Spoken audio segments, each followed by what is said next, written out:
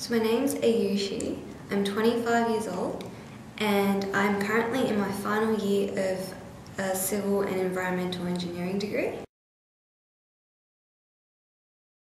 Beijing's actually really different. So compared to my home, I live quite far from the city and I study in the city. But Sydney City compared to Beijing City is so different. Over in Beijing, near, just around the corner from my apartment, it's always something going on. There's always something on the street corner. It's always something near the shopping centre. Even just the travel or the commute to work is mm. completely different to what I'm used to at home.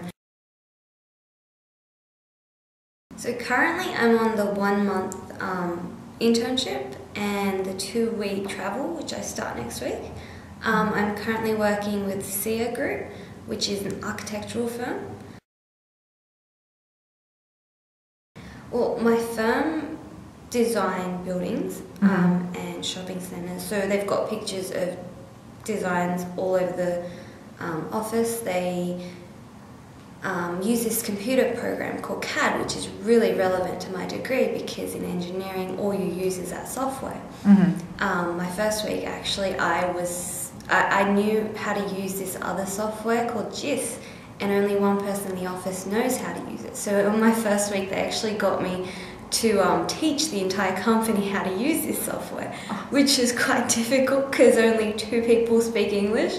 So I had to make that presentation really simple and straightforward and somehow managed to sort of teach them. And I got lots of great pictures of trying to mime out like um, what a drainage pipe was because I sort of, I knew what I was trying to tell them but they couldn't understand the word.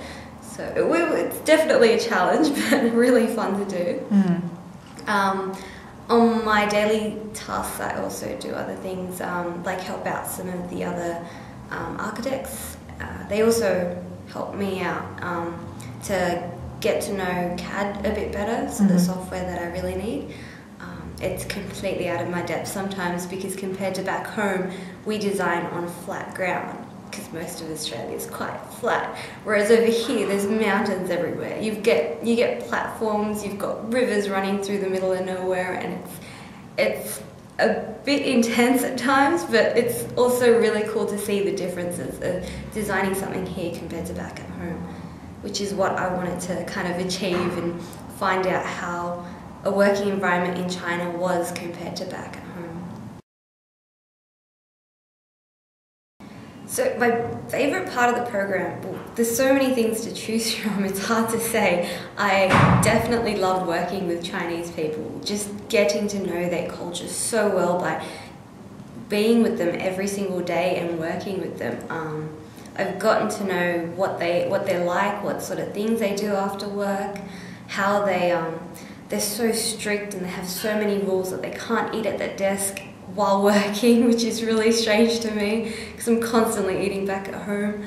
Um, but I just, I loved being able to actually visit a country and be able to be completely engrossed by the culture, just to be in it. So to take the bus every day, to take the subway, to um, to sort of just be completely in the center of everything. Mm. Um, I also love the fact that I'm surrounded by other people who are also trying to do the same thing, like travel and see different parts of Beijing and experience all the different food and culture, which is really great about this program because you're around so many people who are trying to fit as much into the month or two months or three months as they can.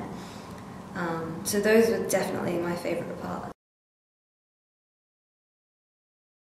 Future plans, well, at the moment I have a semester left of uni, so my future plan so far is just to finish uni off and just be completely out of studying for a while.